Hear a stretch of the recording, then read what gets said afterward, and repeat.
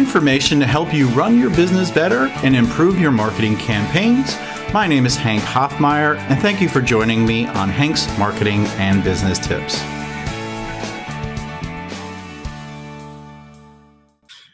Today I'm with Barbara Hemphill. She's with Barbara Hemphill LLC. Similar naming nomenclature like me, Hank Hoffmeier LLC. Seems to be pretty popular these days. I'm going to let Barbara tell us what she does because I feel like she can provide so much value today in regards to productivity. Barbara, welcome and tell us a little bit about your LLC and as well as the other entity you have. Right. Thanks, Hank. I appreciate the opportunity. Research shows that the average employee spends 19% of their time looking for what they need to do their work. So if you take a company with 20 employees at an average wage of $15 an hour, that represents a lost productivity cost of $115,000 per year every year. And research shows that 80% of what we keep, we never use. And the more we keep, the less we use, which means that the reason that people are spending all this time looking for what they need is clutter. So, my passion is helping people eliminate the physical and digital clutter in their life, which I've discovered is actually created, it's a symptom of emotional and spiritual clutter. Hmm. So that's what I like to do. I like to help people eliminate the clutter that comes on their computer desktops, in their email, in their database, uh, in their offices, in their storage rooms, offsite storage, all the places that we keep stuff that we really don't need or use.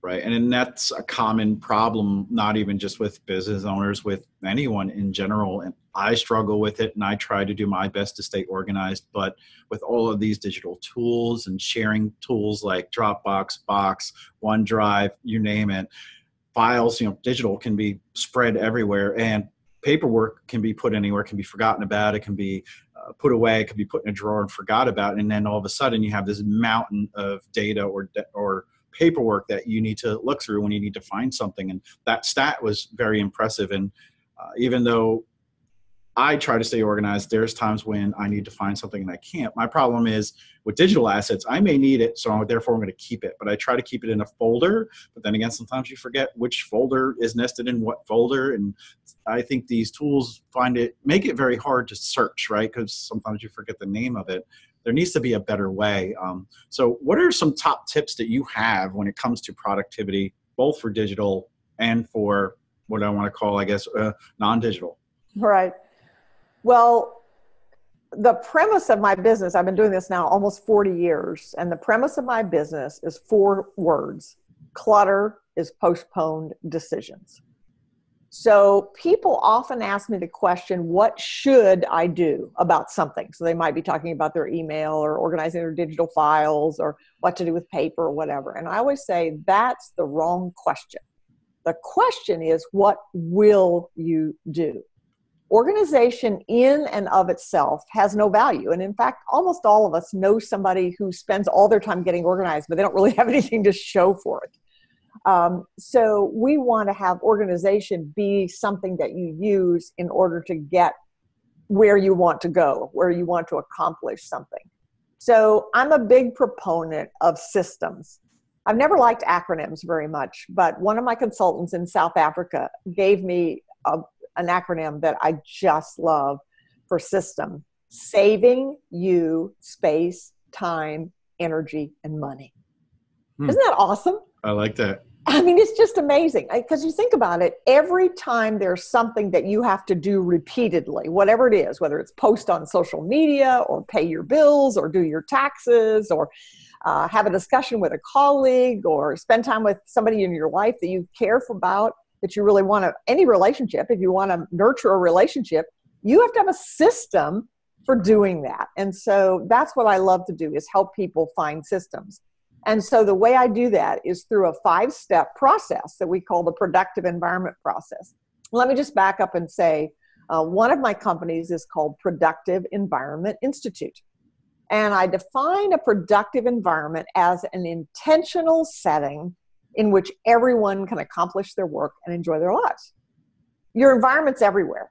Your environment is your office, it's your desk, it's your computer desk, it's your car, it's your closet, it's your it's your kitchen, uh, it's your even your brain. If your brain is full of oh I shouldn't have done that, that'll never work. That's not an environment that's going to help you accomplish what you do. Right. So we have a five step process that we use to solve any kind of problem that we call the productive environment process. So those five steps are number one, state your vision. So when someone says, I need your help, I immediately say, to do what? If you're successful organizing whatever it is we're talking about, whether it's your office or your email or whatever it is, what would that look like? So that's step number one. Step number two, identify your obstacles. What have you tried in the past that didn't work? What are you afraid of? What, why are you procrastinating, etc. Step number three is identify your resources. So it's like, okay, what resources do you have that can help you? So, like, if somebody wants their email organized, the first thing I say is, okay, what email server are you using? Because that's going to make a difference in how in how we do about it. Or who can help you? I mean, all of us have people, and I think we often don't take advantage of that. There are people who are good at what we do that love to do it, and it comes naturally. And if we would just ask, they would help and they don't even always charge for it because for them it's so easy they don't you know it's like oh i can do that Right. So it feels your- good to pay it forward sometimes. And, and I have this term GTY, greater than yourself. And it's a, a, wonderful book that I read, and it's by Steve Farber if anyone wants to look it up. But it talks about mentoring up and mentoring down. And I, I took that to heart and I found some accountability partners, you know, in regards to business that talk to me and say, hey, what are your goals and where are you with this goal, at, you know, whatever it is.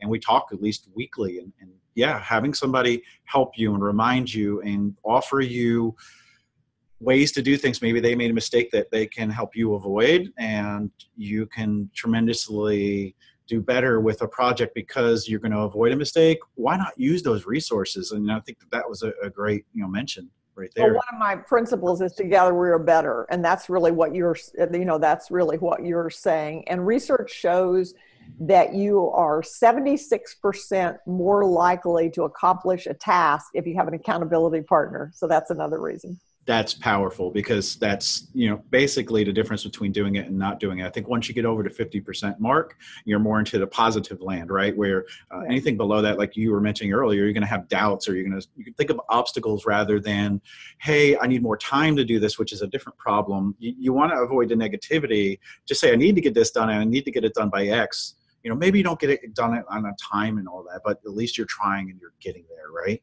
well, let's go back to the five steps that we were talking about because it addresses this very issue. And we'll get it's five steps and we get right. to the fifth step. So, step number one, just to review, step number one is state your vision. Okay, so what's required, what will happen, what will be different. Number two, identify your obstacles. Number three, uh, commit your resources. Number four, design and execute your plan. So, it's like, okay, in order to reach this vision, overcoming these obstacles with these resources. Here's my plan. So you do your plan for whatever it is writing your blog, cleaning up your database, whatever it is. And then step five is actually the most important, and it's the one where people most often uh, fall off the wagon, so to speak, and that's sustain your success. So, mm-hmm. what happens so often is we have a plan and we try it, and then it doesn't work. And instead of analyzing why it didn't work, we just stop. And so the thing that I love about those five steps, notice the common word in all five steps is your. It's all about you. And I see organizing and productivity as an art form. It, and everybody does it differently. And for every person who does it one way, there's somebody else who does it exactly the opposite, and they are equally successful. So it's a matter of figuring out what's really going to work for you, which is what makes this fun for me after 40 years because God didn't create any two people the same. So it's always a matter of figuring out, okay, what's, you know, what's really going to work for you. Right. I think you really need to go through all those steps and, and be consistent. And one phrase I've learned from speaking is practice makes, and I'm letting it sit there for a second because I want my audience to fill in the blank. You're going to think perfect, but really practice makes permanent. Therefore, if you go through those steps, each time you have a project or a need, you're going to go through it better each time and it won't feel like it's daunting and it'll feel like a process at some point and those steps can really help Uh, for me, maybe you have an idea on this. I don't know. If I write it down, or if I have a paper planner, I forget to write it down, right? And therefore, it will not become a goal or a task that I need to do, and I forgot about it. On a digital side, I really can go in and put it onto a list, but then I forget to go back to look at the list. So on the digital side, I forget to go look at the list. On the written side, I forget to write it down. What I'm trying to do is do some practice to make permanent to only use one and make sure I'm going to do what I need to do on each one of the either one of those. And I, I haven't chosen yet. Well, Hank, you bring up something that is a huge issue in the world. Um, and it's amazing how many people haven't really figured it out yet, and partly because it changes. I had was having discussion with a, a consulting uh, duo. It's a couple that works with very large companies and and uh, major executives, and she was saying that she was amazed at how many times she would go into work with an executive of a large company who was feeling all stressed and just discombobulated, and she would say, "How do you keep your to-do list?" And he or she would say in my head. Uh, you know it's like wow that's you know that's just amazing. And a calendar or planner or whatever you call it i have honestly never met anyone that is comfortable with their i mean none of us are perfect right? But some people are more comfortable with their productivity than others. And i've never met anyone who was comfortable with their productivity that hadn't really resolved the issue of paper versus digital calendar, for example. And one of my principles is you can have anything you want, but not everything. It's always trade offs. Mm-hmm. So for decades, literally over two decades, I used a paper planner called the Planner Pad. It's a, it's very unique. You can only get it online.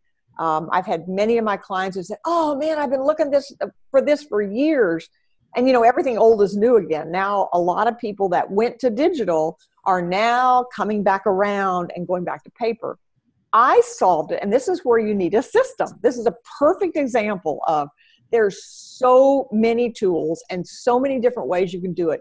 You have to come up with your system, and to your point, Hank, make it a habit. That's exactly right. So I've resolved it by using both. I use a planner pad, a paper planner pad, uh, but my calendar, my electronic calendar, is the most reliable in terms of appointments because I share it with other people, as I did with you. And so I, it must be, you know, really perfect in order to share it. Right. But in terms of writing down to dos and all that thing, those things I use it in a planner in the planner pad. So it's really a matter of coming up with your system. And that's one of the things we do. I often do what I call laser coaching, which is just a 30 minute telephone conversation with somebody that says, okay, let's use these five steps that I just described and let's figure out what would be the best calendar system for you because of your personality and the way you like to do things.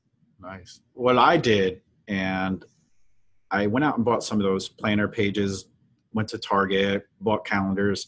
I couldn't find exactly what I was looking for. What I wanted was a bunch of different elements from different planners. What I ended up doing was developing my own template where at the top it has things I'm grateful for, things I'm excited for, an affirmation message. Then I have the top five things that I need to get done that day, and then whether I exercised or not. And then I have little um, uh, pictures of water cups and how many cups of water I drank. And then it says plan for tomorrow and then successes for today.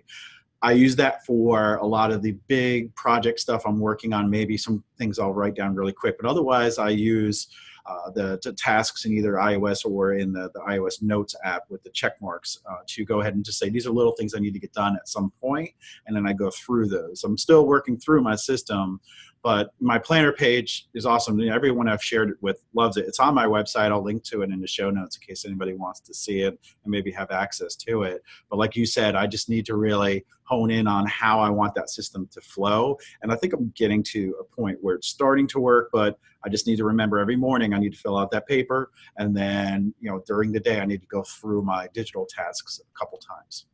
And one of the things, like you, you mentioned, every morning I need to fill it out sometimes it's the tiniest little things that can make a difference. For some people, they like to do it the night before so that when they get up in the morning, they've already got it done. Other people want to do it that morning. It doesn't have a right or wrong. Again, it's a habit and it's like where are you better? I'll give you a funny example of habits. It's it's household related, but for years, because I was an organizing consultant, you know, I used to think that when I went to bed at night, my house should be reasonably in order. You know, the sink shouldn't have any dirty dishes in it, and there shouldn't be any dirty clothes and stuff like that. And so at night, before I would go to bed, I would try to clean up everything, and I hated it. It made me mm-hmm. feel like a martyr. I was tired. It was like, oh, you know, whatever. And one night, I just went to bed and I said, "I'm forget it." I got up the next morning, put the coffee pot on, and while the coffee was brewing, I just went around and did those things.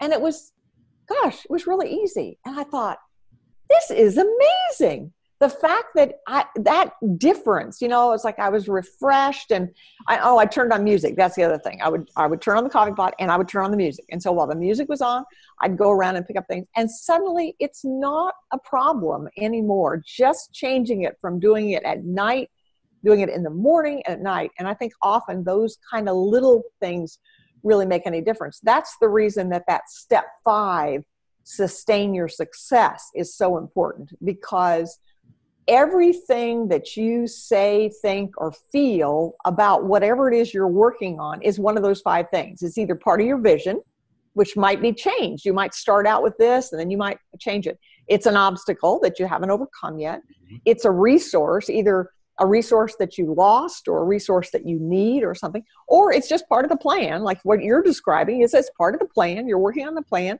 and then step five is that it's it's something where I, I need to tweak it just a little bit. So everything that you say think or feel fits into one of those five steps. So it gives people a great way to hone what they're doing so they can accomplish their work and enjoy their lives. Right. I, I love that story. That that was great. And it's almost like people tend to plan either in the morning or at night. I'd say try both and see which one's more effective. Absolutely. Plan at night, just wait in the morning, they can hit the ground running. Me, I like to think about what I need to do the next day, but then what happens is at night when I'm sleeping, I come up with these great ideas. Then in the morning, I can quickly jot them down and then and then I can have them become additional small tasks. And I don't know if you've read the book Eat That Frog, but absolutely. That in my role here at iContact, things come up. I need to eat the frog right then and there while it's warm on the plate. I guess is the phrase.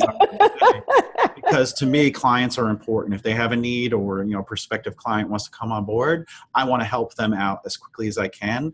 And somebody will always tell me, Are you the most efficient and most productive you can be? And I'll say, No, but that's by design. It's because I want to make sure that everyone in iContact is successful, as well as anyone who uses iContact as their email marketing platform. They're my number one priority. I come next. I believe in organized chaos. My life is chaotic, my work is chaotic, but I keep it organized.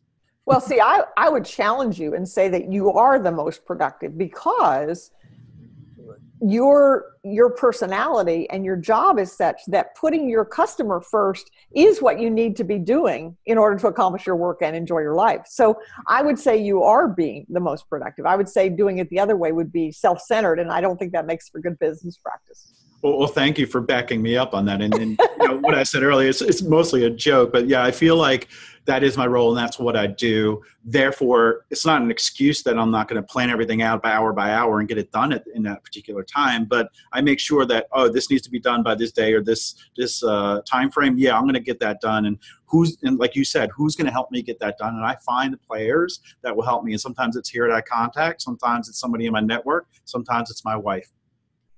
Well, I think, you know, one of the other things is sometimes there, if something's been on your list for a long time and you haven't gotten it done, um, then it's really time to do an analysis about why is this, you know, still here? Why am I procrastinating about this? And one of the questions, this this started when um, I was I've organized people's desks and they'll they'll have papers and they'll be reluctant to throw it away. So the question i ask them is what's the worst thing that would happen if you didn't have it? If you did put this in the shred or the recycle uh, and it turned out you were wrong what would happen? And then is that a price you're willing to pay? It's not a moral issue it's just a decision. Well you can do the same thing with your to-do list. So you can say okay i've been saying for two days or two weeks or two months or two years that i'm going to do this and i haven't done it so, what's the worst possible thing that would happen if I didn't do it? And then you can decide, oh, well, you know, I can. So then you say, okay, I'm not willing to live with that that circumstance, but then what could I do to make it easier to do? You know. I was going to do it this way, so maybe I should try it this way. You know, like I was going to make a phone call, maybe I could do an email, or um, I was going to write a. I mean, how many business owners do you know that that want to write books? I mean, research shows that 80% of the population, we're not talking about business owners, but population believes they have a book in them. Well, how many people actually get that done? Well, why? because they're always looking at the big picture. So they're always looking at the big picture instead of saying, as somebody once said, if you wrote a page a day by the end of the year, you've had 365 pages. Now, obviously, it's not a 365 page book, but it's a good place to start. And then you really can go to an editor or somebody like that. And guess what? You really can have a book. So right. It's, I just launched a book on January 15th, and the interesting thing is, some people have come up to me when they see me or on Facebook. They'll tell me things that I should have done differently, or why didn't I do this, or why didn't I write on something else. And these are the type of people that probably will not read ever write a book, but they're telling me how to do that. It's almost like I want to say, well, you haven't written a book. At least I did it, and it's out in a while. I'm not saying it's the most spectacular book there'll ever be, but I think it's beneficial and helpful to small business owners. And, and, and you know, that's another thing is I, I belong to a writers group on Facebook. And like you said, there's so many people that feel like they have a book in them. And I see that passion there. And anyone that feels like that they want to write a book, just go ahead and do it. Get it out there um, find beta readers if you feel like you don't know if your content's good. People will give you feedback and use an editor. Make sure that you do that because you want to come across as being professional. But if you have a book in you, find someone that's going to help you pull that out of you because the world needs to see it. Well, and, and the other thing is you could start by writing articles. I mean, a great way to test material is to write articles and see what happens. And I can say that uh, I wrote Taming the Paper Tiger was my first book, and that was back in 1988. Wow. And hands down, it was the best thing I ever did for my business because in our society, being an author has credibility. I'm sorry to say it doesn't even mean you have to have a good book. Right. you just have to have a book.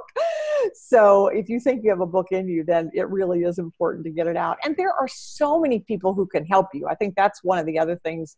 Uh, don't um, don't think you have to do by yourself. And one of the other things that you want to ask why are you writing a book? Like i just did some coaching this morning with a woman who's writing a book and the only reason she wants to write it is she wants her son to have it. Oh awesome. So that's a whole different approach than a business owner who says i want my my book to be my business card so we can actually use that five step process that I described for writing a book. So, okay, what's my vision for a book? What's it going to look like? What's it going to feel like? In fact, my most recent book, Less Clutter, More Life, came about. There's a wonderful story. I was talking to a friend of mine who actually became the artist that did the art of the book. The book is called Less Clutter, More Life. And we were having a conversation in 2014 and I said, Oh, you know, I really need to write this book. And she said, Well, why don't you write it? I have a condo in Carolina Beach. She said, Just go down to the condo for a couple weeks, sit down and write it. And I said, I can't. And she said, Why? And I said, Well, because this is a book that needs to touch emotions. And that means it needs to have artwork. And I have, I don't have a clue. I don't have any idea. She asked me a very interesting question. She says, Tell me, or made a statement. She said, Tell me about the book. What do you mean? I said, Well, the first thing that came out of my mind was it's six inches square and you can read it in less than an hour and it has more white space than print. And then she said, okay, look at the cover of the book. What do you feel? Hmm. And I said, peace. Then she said, okay, well, open up the cover. Now what do you feel? I said, hope. She said, okay, turn a page. Now what do you feel? I said, energy. And she stopped and she said, why don't you just fly out to, to Pasadena and we'll write this book together because she's a photographer. And that's exactly what I did. And I flew out to Pasadena and spent three days with her. And I gave her the words and then she talked to me about them. So she actually kind of became an editor. Uh, and then she put the photographs in and we made an agreement that I was in charge of the words. I was the keeper of the words and she was the keeper of the art but we wouldn't do anything that the other one didn't approve of. And so we published that book, and it's just the joy of my life. And if I die tomorrow, it's like this book is literally what I am about less clutter, more life. How can we find your new book, Less Clutter, More Life? You can just go to my website, barbarahemphill.com, and you'll find it there. You can get it on Amazon too. It's available on Amazon as well. Great. Yeah, check it out if you get a chance. Uh, it's been great having this discussion. Like I say to almost everyone that comes on, I feel like I could go on for an hour, but what I've found is my listeners like to keep it a little bit shorter. Uh, therefore, I think you need to come back on at some point and we can go over some more items. And while you were talking, there are so many things I thought of that I can go over uh, in regards to being productive, but that probably will be another episode. Uh, if folks wanted to find you, what is the best way to connect with you on the internet? Um, well, I'm available on uh, on Facebook and on LinkedIn, and just go to my website, barbarahemphill.com is the simplest, and that will send you anywhere that you want to go. Great. And again, can you recap those five steps? Uh, number one, state your vision. Number two, identify your obstacles. Number three, commit your resources. Number four, design and execute your plan. And number five, sustain your success. Awesome. And I'll put those in the show notes so people can refer to those. I think that's a great way to be productive this year. Uh, if you're just getting started, it's going to help you greatly. If you've been in business for a while, maybe it'll just help you become a little more efficient and you know, save what is it about $115,000 a year uh, per yes. employee. Um, that's a lot of money to save if you look at it as far as statistics or, or revenue wise. And let me just close with one other thing that's something for people to think about. People always ask, you know, when they go to hire somebody to help them, one of the first questions they will ask is, how long is this going to take and how much is it going to cost? And I always reply to them, well, I really don't know because I don't know exactly what you need. And you would say the same thing to your prospects. You know, you, you have a ballpark, but you don't exactly know. But what I can tell you for sure is the longer you wait, the longer it will take and the more it will cost. That's right. I agree. If you want to listen to previous episodes, go to hankhoffmeier.com slash Alexa. You can subscribe on multiple platforms. You can find them on my website. If you want to sign up for an iContact account, there's a 30-day free trial. If you use the code HMBT, you'll get a $30 credit when you do start paying for your account, which I think is a, a pretty cool deal. It's something I worked up here at iContact and just wanted to offer everyone here. We hope you enjoyed today's episode and we look forward to having Barbara on again. Thanks, Hank. Thank you.